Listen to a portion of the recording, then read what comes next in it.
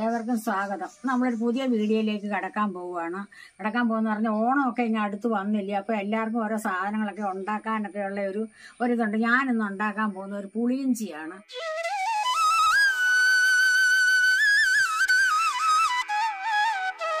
പുളിയിഞ്ചി പറഞ്ഞു കഴിഞ്ഞാൽ നമുക്ക് കുറേ ദിവസം ഇത് വെച്ചേക്കാം കുറച്ച് ദിവസം ഒരു പത്ത് പതിനഞ്ച് ദിവസമൊക്കെ നമ്മൾ പുളിയിഞ്ചി വെച്ചായിരിക്കും. പക്ഷെ തേങ്ങ വറുത്തരച്ച ഇഞ്ചി അങ്ങനെ ഇരിക്കൂല കേട്ടോ. അപ്പൊ ഞാനിപ്പോ ഇന്ന് ഉണ്ടാക്കാൻ രണ്ട് രീതിയിലും തേങ്ങ വറുത്തരച്ച ഇഞ്ചിക്കറി ഉണ്ട്. അത് ഇഞ്ചി കറിയാണ്. ഇത് പുളിയിഞ്ചിയാണ് ഈ പുളിയിഞ്ചി ഉണ്ടാക്കുന്നതെന്ന് പറഞ്ഞാൽ നമ്മളിപ്പോ ഉണ്ടാക്കുന്ന പുളിയിഞ്ചി ഒരു പത്ത് പതിനഞ്ച് ദിവസം അത് സൂക്ഷിച്ചു വെച്ചാൽ കാറ്റ് ഒന്നും കയറാതെ നല്ല ചില്ലു ചില്ലുകുപ്പിക്കകത്ത് ഒഴിച്ച് ഇത് അടച്ചു വെച്ചാൽ ഒരു പത്ത് പതിനഞ്ച് ദിവസം അത് ഫ്രിഡ്ജിനകത്തൊന്നും വെക്കണമെന്നില്ല. ഓണത്തിന് മുമ്പേ ഇത്.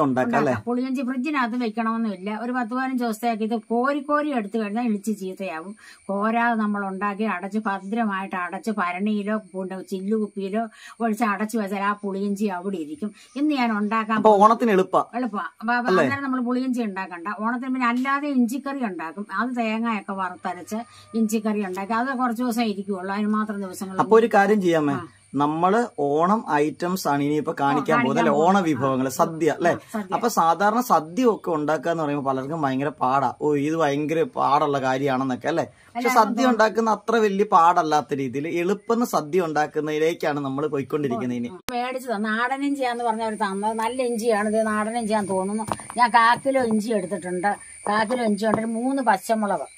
മൂന്ന് പച്ചമുളകും മതി. മൂന്ന് പച്ച പച്ചമുളക് ചേർത്തില്ലേലും കുഴപ്പമില്ല. നമ്മുടെ ഇവിടെ ഉണ്ടായ പച്ചമുളകാണ്. പച്ചമുളക് ചേർത്തില്ലേലും കുഴപ്പമില്ല. ഞാൻ നേരത്തെ ഒന്നും പച്ചമുളക് ചേർക്കാതാണ് പുളിയിഞ്ചി ഉണ്ടാക്കിക്കൊണ്ടിരിക്കുന്നത്. പുളിയിഞ്ചിക്ക് എന്ന് പറഞ്ഞാൽ ഇഞ്ചിയുടെ എരിവും മുളകിന്റെ എരിവും എല്ലാം കൂടെ വരുമ്പോൾ പിന്നെ പച്ചമുളകിന്റെ ആവശ്യമില്ല. അപ്പോൾ പച്ചമുളക് ഇന്ന് ഞാനൊരു മൂന്ന് പച്ചമുളക് എടുത്തിട്ടുണ്ട്. അത് നമ്മുടെ മുളവേന്ന് പറിച്ചെടുത്താണ് നമ്മൾ ഏതാണ്ട് നട്ട മുളവേന്ന് അപ്പൊ പച്ചമുളക് ഇല്ലാണ്ട് ഉണ്ടാക്കാം. ഉണ്ടാക്കാം. പച്ചമുളക് ഇല്ലാതെ ഉണ്ടാക്കാം. ഞാൻ നേരത്തെയൊക്കെ പച്ചമുളക് ഇടാതാണ് ഉണ്ടാക്കുന്നത്. ഇന്ന് പക്ഷേ ഞാൻ മൂന്ന് പച്ചമുളക് കൊണ്ട് എടുത്തിട്ടുണ്ട്. അപ്പോൾ ഇഞ്ചിയുണ്ട്. ഇഞ്ചി ചുരണ്ടി നമ്മളൊന്ന് ഇഞ്ചി കൊത്തി അരിയണം.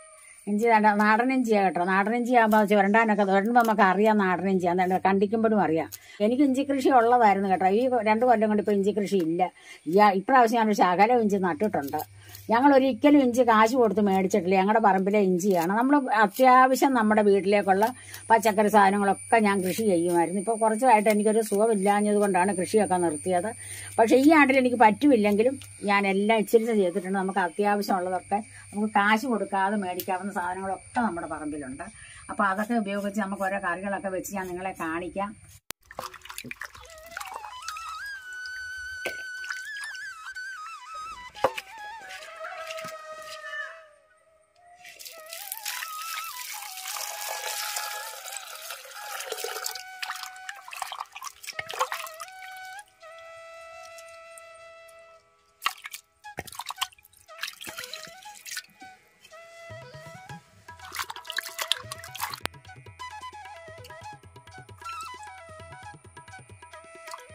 അപ്പൊ നമ്മുടെ ഇഞ്ചി ചുരണ്ടി കഴുകിയത് നമ്മൾ ഓരോ ഇഞ്ചിയും ചുരണ്ടുമ്പോൾ വെള്ളത്തിലോട്ട് ഇട്ടേക്കണം. അപ്പൊ അതിന്റെ വെ- കുതിർന്നുണ്ട്. ഇപ്പോഴൊന്നും ഈ മഴയൊക്കെ ഉള്ള കാര്യമായതുകൊണ്ട് ഇഞ്ചി നന്നായിട്ട് മണ്ണ് പറ്റിയിരിക്കും അപ്പം നമ്മൾ ചുരണ്ടും നെഞ്ചി ചുരണ്ടും നെഞ്ചി വെള്ളത്തിലോട്ട് ഇട്ടിട്ട് അപ്പം മൊത്തം ചുരണ്ടി തീരുമ്പോൾ നല്ലപോലെ നമ്മൾ ഞെരടി കഴുകണം ഞെരടി വെള്ളത്തിൽ കിടക്കണം പിന്നെ ഇതിന്റെ ഇടയ്ക്കൊക്കെ ഈ കുഞ്ഞു കുഞ്ഞു കാലുകളുണ്ട്. അതിനിടയിലൊക്കെ മണ്ണിരിക്കും. അതൊക്കെ നമ്മൾ ശ്രദ്ധിച്ച് കഴുകിയില്ലെങ്കിൽ ഇഞ്ചിക്കറിക്ക് മണ്ണ് കടിക്കും. അപ്പം നമ്മൾ അതെല്ലാം നല്ലപോലെ ഞെരടി കഴുകി ഞാൻ നല്ല ഭംഗിയായിട്ട് കഴുകി ഇതേ ചട്ടിക്കകത്ത് എടുത്ത് വെച്ചിട്ടുണ്ട്. ഇനിയിപ്പോൾ ഞാനിതൊന്ന് കൊത്തി അരിയാൻ തുടങ്ങുവാണ്. നമ്മുടെ ഇഞ്ചിക്കറി വയ്ക്കാനൊക്കെ നല്ല നല്ല ഭംഗിയായിട്ട് നല്ല നാടൻ ചെയ്യാം കേട്ടോ. നല്ല നാടനം ചെയ്യാൻ നമ്മൾ കിട്ടിയത്. അവർ പറഞ്ഞു ഇത് നാടനം ചെയ്യാം ചേച്ചി കൊണ്ടുപോകും മറ്റേ പാണ്ടിഞ്ചി വേറെ ഇരിപ്പുണ്ട്. അപ്പൊ ചേച്ചി നാടൻ ഇഞ്ചി തന്നെ കൊണ്ടുപോക്കോളാം പറഞ്ഞു. അങ്ങനെ നാടൻ ഇഞ്ചിയാണ് ഞാൻ മേടിച്ചത്. ഈ നാടൻ ഇഞ്ചിക്കാണ് മറ്റേ ഇഞ്ചിനെക്കാളും കുറച്ചുകൂടെ ഫ്ലേവർ കറി വെച്ച് കഴിഞ്ഞാൽ നല്ല രുചി. ഇതിന് ആര് കുറവ്? മറ്റേനകത്ത് ഈ ചകിരിനാര് പോലെ ആര്? നമ്മൾ അരിഞ്ഞാൽ അത് കത്തിക്ക് അരിയുമ്പോ കിറുകിറാന്ന് നമ്മൾ മുറിച്ച് വരാൻ പാടാ അത്. ഇത് നമ്മളിപ്പോ അരിയുമ്പോ കണ്ടോ? ഇഞ്ചി അരിയുമ്പോഴ്. ഞാൻ ഇഞ്ചി കൊത്തി അരിയാൻ തുടങ്ങുവാണ്. നമ്മൾ വട്ടത്തിലല്ല അല്ലെ കൊത്തി അരിയുക ഞാൻ സാധാരണ ഇഞ്ചിക്കറി വെക്കുന്ന അങ്ങനെ കൊത്തി അരിഞ്ഞ.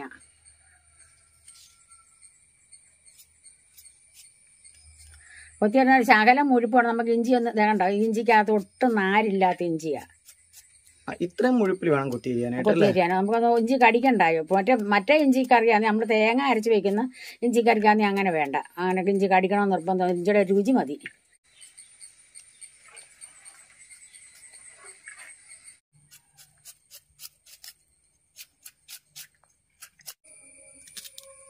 അപ്പൊ നമ്മൾ ഇഞ്ചിക്കറിക്കുള്ള സാധനങ്ങളെല്ലാം നീ ഒരുക്കി വെച്ചിട്ടുണ്ട്. ഇഞ്ചി ദേ അരിഞ്ഞു വെച്ചിട്ടുണ്ട്. പിന്നെ അതിന് വേണ്ടുന്ന ഉലു പിന്നെ മുളക് പൊടിയുണ്ട്. രണ്ട് ഒരു മൂന്ന് പച്ചമുളക് വരുന്നുണ്ട് ഇഞ്ചി കാക്കിലോ ഇഞ്ചി ഉള്ളതുകൊണ്ട് ഒരു മൂന്ന് പച്ചമുളക് മതി. നമ്മൾ പിന്നെ അതേ പുളി എടുത്ത് വെച്ചിട്ടുണ്ട്. കടു പൊട്ടിക്കാനുള്ള മുളക് ശർക്കര പിന്നെ മഞ്ഞപ്പൊടി ഉലുവാപ്പൊടിയുണ്ട് കായമുണ്ട് പിന്നെ ആ ഒരു കാര്യം നിങ്ങളോട് ഞാൻ പറയാം. ഉലുവാപ്പൊടിയും മഞ്ഞപ്പൊടിയും നിങ്ങൾക്ക് ആവശ്യമുണ്ടെങ്കിൽ മാത്രം ചേർത്താൽ മതി. കായപ്പൊടി അതെല്ലാവരും ഒന്നും അങ്ങനെ ചേർക്കാറില്ല. പിന്നെ ചിലരൊക്കെ ചേർക്കാറുണ്ട്. അത് നമുക്ക് നിർബന്ധമൊന്നുമില്ല. ഈ മൂന്ന് പൊടികൾ വേണമെന്ന് നിർബന്ധമൊന്നുമില്ല. അല്ലാതെയും പുളിയിഞ്ചി വെച്ചാൽ നല്ല രുചിയാണ് പുളിയിഞ്ചി വെച്ചാൽ. അപ്പം നമ്മളിത് ഞാൻ ഉരുളിയും കഴി അടുപ്പ് വെച്ചിട്ടുണ്ട്. അപ്പം നമ്മൾ ഇനി അത് തീ പിടിപ്പിച്ച് ഇതൊന്ന് ഒന്ന് വറയിട്ട് എല്ലാം ഒന്ന് മൂപ്പിച്ചെടുക്കണം. കുറച്ച് മുളക് പൊടി മതി. ഇഞ്ചിക്ക് എരിവുള്ളത് കൊണ്ട് ഇഞ്ചിയുടെ നൂറ് പിരിഞ്ഞ് കളഞ്ഞിട്ടില്ല. ചിലർ ഇഞ്ചി ചതച്ചിട്ട് ഇതിന്റെ നൂറ് പാലിങ് ഇഞ്ചിയുടെ നൂറ് പിരിഞ്ഞെടുക്കും ഈ ഒത്തിരി വെള്ളമുള്ള ഇഞ്ചിയാണെങ്കിൽ അമ്മേ ആ ഇതിപ്പോ നൂറ് പിടിയാനുള്ള ഇഞ്ചി ഇല്ല. അല്ലെങ്കിൽ ഇഞ്ചി പതുക്കെ കല്ലേ വെച്ചാൽ ചതച്ചിട്ട് പിഴി പിഴിഞ്ഞിട്ട് വറുത്തെടുക്കും അല്ലേ? പുളിയിഞ്ചിക്ക് വേണ്ട. പക്ഷെ ഇഞ്ചിക്കറിക്ക് നമ്മൾ പിഴിയണം. പിഴിഞ്ഞാൽ കൊള്ളൂല്ല. അപ്പൊ ആ നൂറ് നമ്മൾ വേറെ ആ പാൽ വേറെ മാറ്റി വെച്ച് പിന്നെ നമ്മൾ എരിവിന് പച്ചമുളകും ഉണ്ട്. രണ്ട് മൂന്ന് നമ്മുടെ- നമ്മുടെ പച്ചമുളക് ഞാൻ നട്ട പച്ചമുളകാണ് ഇത്. ആദ്യം പറിച്ചെടുത്ത പച്ചമുളകാണ്. ഇതൊക്കെ പച്ചമുളക് ഉണ്ട്. അതോടൊപ്പം തന്നെ കാശ്മീരി മുളക് കൂടി നമ്മൾ ഇടുന്നത് ഇടുന്നത്. പിന്നെ ശർക്കര. അതേ നൂറ് ഗ്രാം ശർക്കര ഇല്ല. ഇഞ്ചി കുറവായതുകൊണ്ട് നമുക്ക് പിന്നെ മധുരം കുറവും തോന്നുവാണെങ്കിൽ വീണ്ടും ഇച്ചിരി ശർക്കര ചേർക്കാം അല്ലെ? അമ്പത് ഗ്രാം ശർക്കര കഷ്ടി കാണും അത്രേ ഉള്ളൂ. അപ്പൊ ഇതെല്ലാം ഞാൻ ഒരുക്കി പിന്നെ. പുളി. വാളംപുളി റെഡിയാക്കിയിട്ടുണ്ട് ഇത് വെള്ളം കുതിർത്ത് ഇപ്പോഴേ വെക്കണം അല്ലെ വാളംപുളിയിലേക്ക്? വെള്ളം ഒഴിച്ചു വെക്കണം. ശർക്കര ഒന്നും നമുക്ക് പാനിയാക്കി എടുക്കണമെന്നൊന്നുമില്ല. നല്ല ശർക്കര. ചെളി ചെളിയില്ലാത്ത ശർക്കര നമ്മൾ മേടിച്ചതാണ്. നല്ല ഉണ്ട ശർക്കര. നമ്മൾ നല്ല മറയൂർ ശർക്കരയാണ്. അപ്പൊ ഇതിനകത്ത് മറയൂർ ശർക്കരയ്ക്ക് ചെളി കുറവാണ്. അപ്പൊ ഞാൻ പറഞ്ഞാണ് നമ്മൾ ഒരുക്കി നോക്കിയിട്ടുണ്ട്. ഒരിക്കൽ നോക്കിയത്. ഞാൻ ഇതിനകത്ത് അഴുക്കും പൊടിയൊന്നുമില്ല. അപ്പൊ ഇത് നമ്മൾ അങ്ങനെ അങ്ങ് ഇട്ടാൽ മതി. അഴുക്കുള്ള ശർക്കര നമ്മൾ പാനി കാച്ചി എടുത്ത് അരിച്ചു വെച്ചിട്ട് വേണം അത് ഒഴിക്കാൻ. അപ്പൊ ഒരു കാര്യമുണ്ട്. നമ്മൾ ശർക്കര വാങ്ങിക്കുമ്പോൾ തന്നെ കുറച്ച് ശർക്കര എന്തെങ്കിലും ആവശ്യത്തിന് ഒരുക്കി നോക്കണം. അതിന്റെ അകത്ത് പൊടിയും ചെളിയും ഉണ്ടോ എന്ന് അല്ലെ? പൊടിയും ചെളി ഇല്ലെങ്കിൽ നമുക്ക് ഇങ്ങനെ ഇടാം. പൊടിയും ചെളി പൊടിയും ചെളിയൊക്കെ ഉണ്ടെങ്കിൽ നമുക്ക് പാനിയാക്കി തന്നെ അരിച്ചെടുക്കണം. കല്ല് കടിക്കും ഇഞ്ചി പുളിയിഞ്ചി കൂട്ടുമ്പോൾ കല്ല് കടിക്കും. അത് കൊള്ളുമില്ല അപ്പൊ ഈ ശർക്കരയ്ക്ക് കല്ലില്ലാത്തത് കൊണ്ട് ഞാനിത് ഉരുക്കുന്നില്ല. ഇനി ഇതിങ്ങനെ ഇടുവാണ്. അപ്പൊ ഞാൻ ഇത് അടുപ്പിൽ തീ പിടിപ്പിക്കാൻ പോവാ.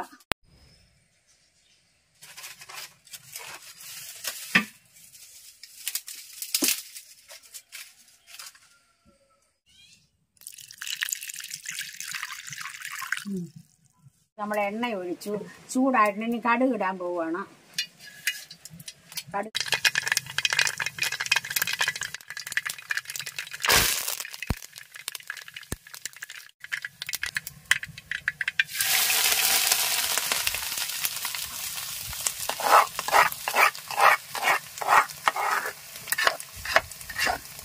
അങ്ങനെ നമ്മൾ അരിഞ്ഞു വെച്ച ഇഞ്ചിയും കൂടെ അതിന്റെ അകത്ത് അല്ലേ ഇട്ടു. ഉം. പച്ചമുളക് നമ്മൾ ഇപ്പൊ ഇട്ടിട്ടില്ല അല്ലെ? പച്ചമുളക് ഇഞ്ചിക്ക് ഇച്ചിരി മൂപ്പ് കൂടുതലാണ് ഇഞ്ചി. അപ്പൊ ഇഞ്ചി ഒന്ന് മൂത്തതിന് ശേഷമാണ് നമ്മൾ പച്ചമുളക് പച്ചമുളക് ഇടാൻ പോകുന്നത്.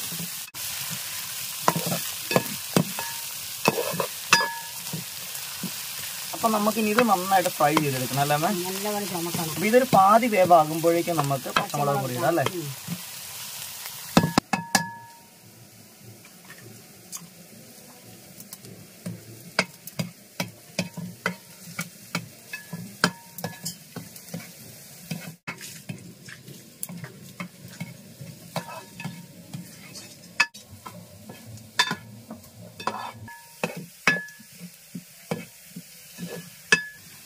അപ്പൊ ഞാൻ ദേ അത് നോക്കുമ്പോഴത്തേക്ക് ഈ പുളി ഒന്ന് ഞെരടി പിഴിയട്ടെ പിഴിഞ്ഞൊന്ന് നമുക്ക് ഊച്ചിയെടുക്കണം.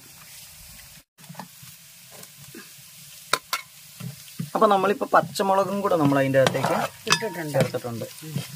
അപ്പൊ നമ്മളിത് പച്ചമുളകും കൊണ്ട് ഇട്ടിട്ടുണ്ട്. ഇഞ്ചിയൊക്കെ നല്ല പോലെ ചുമന്നിട്ടുണ്ട് പച്ചമുളകും കൂടെ ചുമക്കട്ടെ.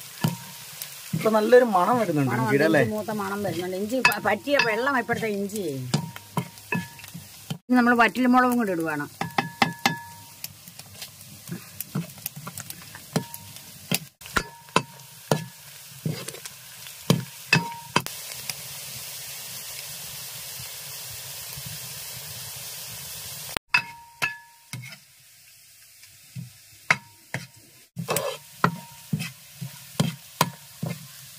നമ്മുടെ ഇഞ്ചി ഇതേ നന്നായിട്ട് മൂത്തിട്ടുണ്ട് മണമൊക്കെ വന്നിട്ടുണ്ട്. ഇതിനകത്ത് നമ്മൾ സ്വല്പം മുളക് പൊടി ഒന്ന് ചൂടാക്കണം. ഈ എണ്ണയ്ക്കകത്ത് തന്നെ കിടന്ന് മുളക് പൊടി നമ്മൾ പിരിയമുളകിന്റെ പൊടിയാണ്. പച്ചമുളക് ഇഞ്ചിക്കൊക്കെ എരിവുള്ളത് കൊണ്ട് കുറച്ച് മുളക് പൊടി മതി. അതൊന്ന് പതുക്കെ ചൂടാവണം. ഒരു സ്വല്പം മഞ്ഞപ്പൊടിയും കൂടെ.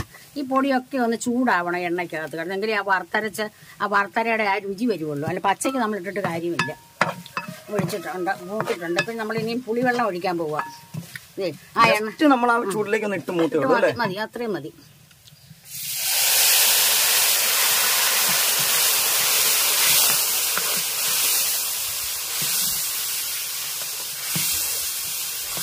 ച- ഉപ്പ് നമ്മൾ ഇട്ടിട്ടില്ല അതിന് നമ്മൾ വേണ്ടി നമ്മൾ ശർക്കരയും ഇടാൻ പോവുകയാണ്. ശർക്കരയും കിട്ടാൻ തിളക്കരുത്.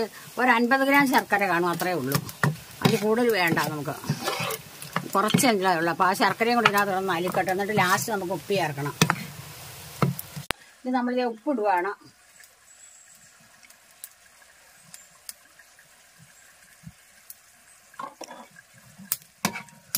കറി നന്നായിട്ട് നമ്മുടെ കുറുകി വന്നിട്ടില്ല. വന്നിട്ടില്ല വന്നിട്ട് ഇച്ചിരി കൊടുക്കണം ഇപ്പൊ നമ്മുടെ ശർക്കരയൊക്കെ അലത്തു നമ്മൾ ഉപ്പും ചേർത്തു.